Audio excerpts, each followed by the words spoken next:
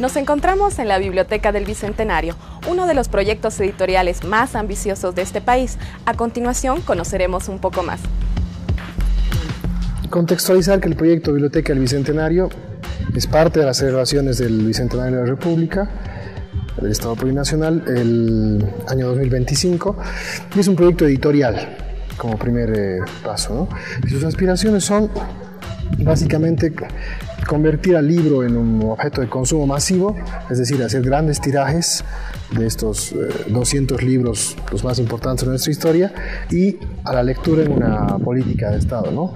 Es decir, lograr que esos libros tan importantes, centrales de la documentación boliviana, se distribuyan en todo el país, tanto de manera física como digital, gratuita y a la venta, y em, que luego, mediante un plan nacional de lectura, em, dinamice a los estudiantes, a los grupos culturales y a la ciudadanía, ¿no? y generar la lectura de lo boliviano y la reflexión sobre lo boliviano. De hecho, es el objetivo mayor del proyecto que tiene varias etapas. ¿no? La primera de ellas fue seleccionar los 200 libros. Para ello se conformó un comité editorial compuesto por más de 30 notables eh, intelectuales, escritores, etcétera, del país, hombres y mujeres, y también algunos extranjeros expertos en Bolivia.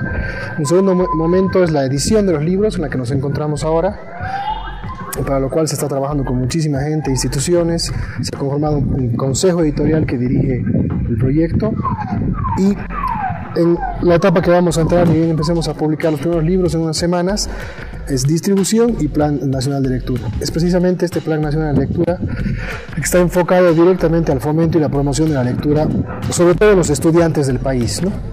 Es importante mencionar que la colección no es solamente literatura, sino ciencias sociales, historia, geografía y muchísimas cosas más. ¿no? La hemos dividido en, en, cuatro grandes categorías. Una es historias y geografías precisamente, otra es sociedades, otra es letras y artes y la última diccionarios y compendios.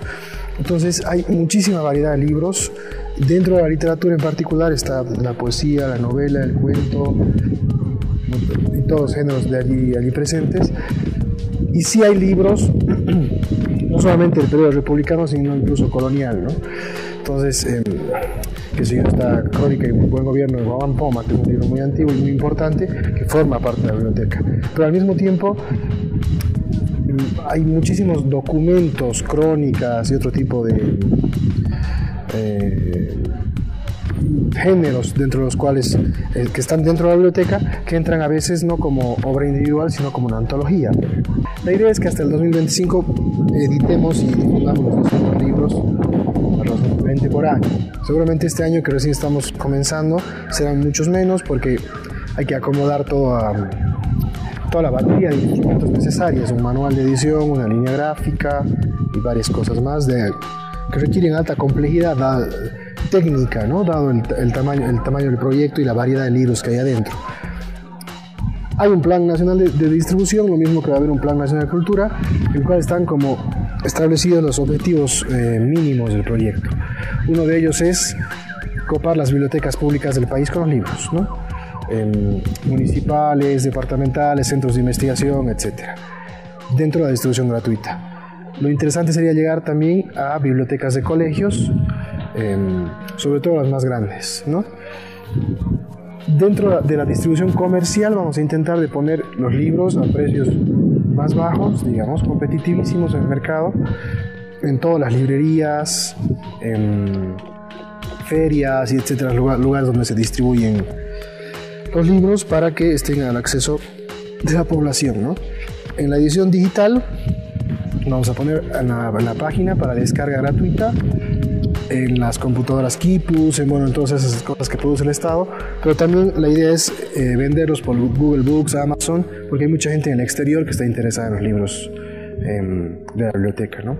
Y bueno, eso es como el plan de distribución básico, esas dos, lo, lo, lo virtual, lo físico, ambos eh, regalados eh, por una parte y por otra parte eh, con venta de precio comercial. Pero ya dentro del plan lector hay como muchísimas ideas sobre cómo mover los libros, ¿no? Entonces, por ahí hay planes que se puedan replicar, que ya se han hecho antes, poner libros en, en las paradas de, de, buses, poner libros en las paradas de flotas, que tengan una lógica ahí de usarlo simplemente y que no haya que pagar.